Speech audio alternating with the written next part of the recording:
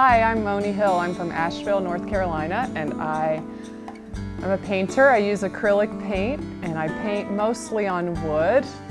Today I'm going to show you how I go from these salvaged pieces of scrap wood to my final versions. I live in a, an area of town called Malvern Hills in Asheville, North Carolina, and it's a nice residential neighborhood, but um, somehow there was a lot across the street that is being built on right now. And though we hate the construction and the noise and the traffic, the silver lining was a dumpster full of scrap wood from ho the house being built. So my husband and I loaded up the dump truck after asking for permission, and we have now a garage full of scrap wood. And that's usually um, what my garage looks like. Half of it is the minivan and half of it is scrap wood. Um, I also have some nice carpenter friends who bring pieces over because they know I paint on, you know, this kind of wood.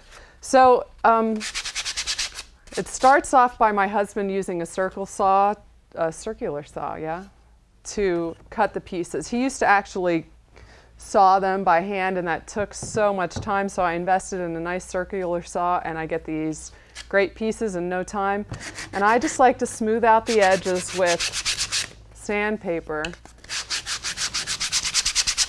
And I don't go for perfection. I like to keep these little, um, sometimes the ridges in the wood because then they come out later in the final process when I sand.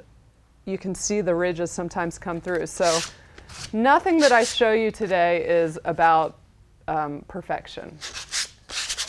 I like to let character show through. And wood definitely has character, which is why I like to paint on wood. Um, this one was stepped on by a dog, I guess, but I'm not worried about that. I'm going to paint right over it. And I can sand it off.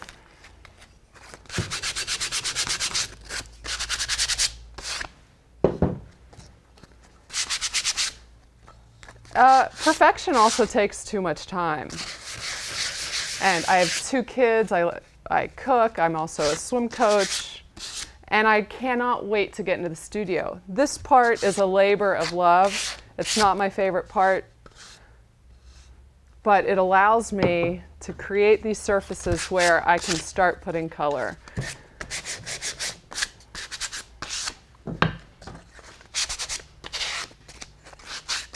I mean, I'm already excited about getting color on this. So when you paint on scrap wood like that, there is a little bit more preparation. I'm going to show you how to paint on Joe's Prime these cradled painting panels, which I adore. I love.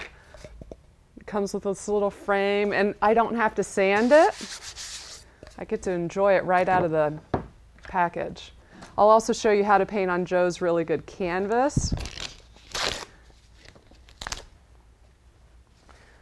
And then there's this also, Joe's makes this, um, it's, it's called Artboard. I'm not even sure what it's made out of. It looks like a composite of, does it say? I don't know, but what I love about this is the little hooky place in the back, and it still allows me to really build up layers. So all three of these surfaces allow me to build up my layers of paint, which is um, where I have so much fun. All right, so we're gonna, um, I'm gonna tint the gesso because I really like layers of color so that when I go back and sand over it, these layers of color start coming through. So I'm going to use Joe's Prime Really Good Clear Gesso and just put it on the palette paper, which is made by Strathmore palette paper. If you don't have palette paper, I'll, i even will use the top of a, a paint lid. I'll use any flat surface to get my paint moving. And you are going to learn about me that I don't follow recipes. I don't, I'm not going to give measurements, but just let's have fun until things look the way you want them to look. Here I'm adding um, this Joe's Prime Lightfast Acrylic to the gesso to give it the color. And I want to get some red moving. So I use a gesso because it allows me to do one of my trademark, um, one of my signature pieces. It allows me to put canvas onto the wood and it adheres. The gesso has an adhesiveness to it. Sometimes to um, get my wood ready, I also use, I'll use a house paint. If I have a house paint with primer laying around, maybe if I've painted a room in the house.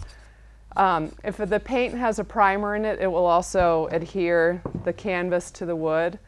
I started doing this years ago when I wanted to add some more dimension to my work and also you'll see how it evolves. Okay, so I've got a nice batch of red ready and I'm just going to start putting it on there. Look how, oh, it's so thick and yummy.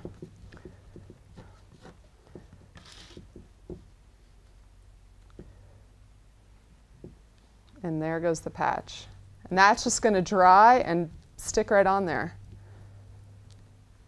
So the patch is um, scrap pieces of canvas from, you know, stretched canvases. There are often remnants, and so I just get those scraps and cut them up into little pieces.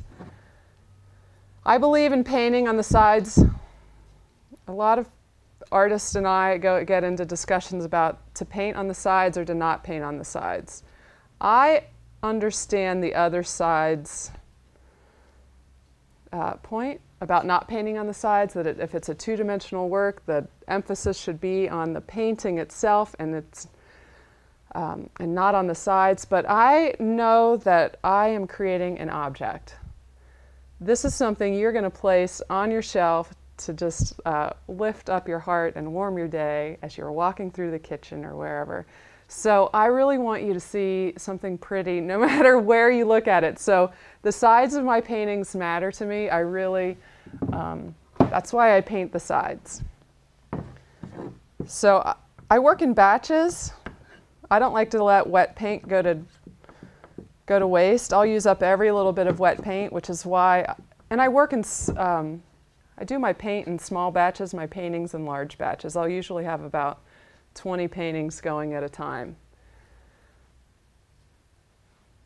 Um, and in order to not be bored, I will have different colors. I'll prime them and um, get them ready with different colors. Because just putting color onto things and watching the relationships between colors grow and evolve it excites me. It's one of my the favorite parts of my job. My work is so much about color, and this is where my work really, really, really starts to get fun. So let's pull out one of these, the Joe's Prime um, cradled painting panel.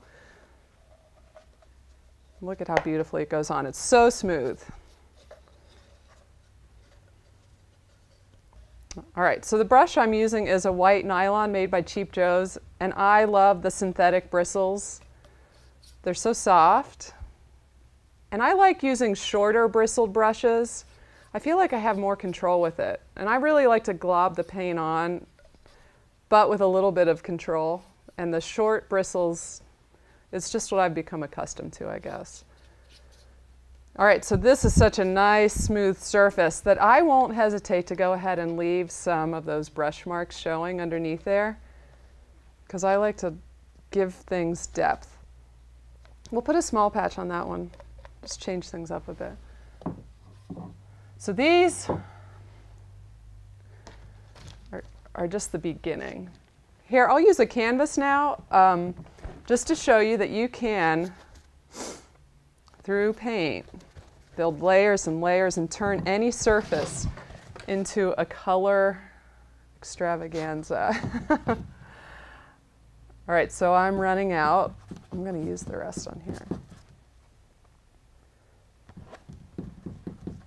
Put the patch on now. Yeah, I'm going to put a canvas patch on top of a canvas. What the heck? I've seen people put paper on canvas.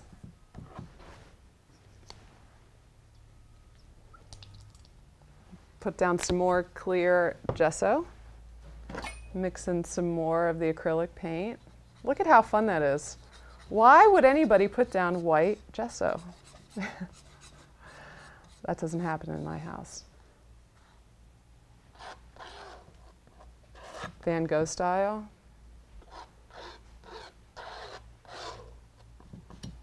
Just, that's a good way to get that off there.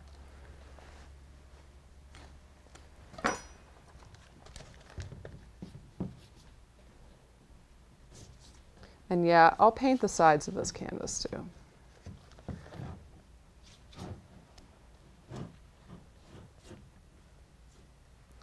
So I was influenced a lot by um, the Southern folk artists when I moved to Asheville. I'd really, before I moved to Asheville eight years ago, I studied art history and I would go to museums and I really loved the modern abstract expressionists. And I, I took art very seriously. And I wanted to make serious art. But when I moved to Asheville and uh, learned about the Southern folk artists that they just created things from whatever they had, you know, painting on roof tins or using whatever paint they had, whatever materials they had. That, I was very inspired by that, and that freed me up to paint on surfaces like reclaimed wood. And there's not a lot of financial investment, obviously, in, in painting on reclaimed wood, so that freed me up to experiment a lot. And that's when my art really turned fun, bright, and colorful, was when I just felt that freedom in from the materials to go ahead and try something new and have some fun. And I began to take art less seriously. And or I, I took it seriously, but more I was more serious about having fun with it. And maybe that comes from age. I don't know where it comes from. Anyway, so from the Southern folk artists, I just gained this real appreciation for the act of doing art and making pretty things from what you have around you. And so I, I wasn't picky about the things I used. I am picky about my final product and about how colors come together. The other thing, I was, I was painting while I had two young children um, and painting right in the dining room. I just had to paint. So, you know, if you're an artist, you get this. You got to paint when and wherever you can. A lot of times young moms say, I really want to start painting again, but I don't have the time. Well, I would put those kids to bed, go down to the dining room, you know, put the dishes away, and on the dining room wall, just start painting. And I think that there's a payback for that for the dedication and commitment to painting, you get this, you know, a lot of inspiration and motivation to keep going. It just takes that first step, making time in your life to paint. The art gods reward you. All right. So that's my first batch.